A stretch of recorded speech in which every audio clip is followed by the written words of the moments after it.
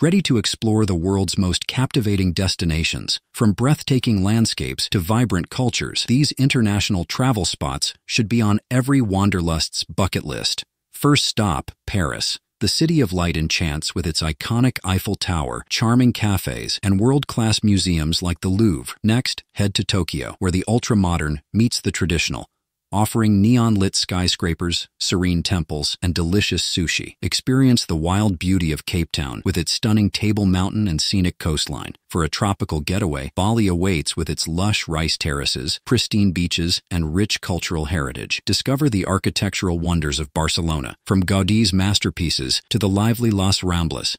And don't miss the ancient splendor of Rome, where history comes alive with the Colosseum, Vatican City, and mouth-watering Italian cuisine. Traveling the globe opens your heart and mind to new perspectives and unforgettable adventures. Pack your bags and start your journey to these amazing international travel spots.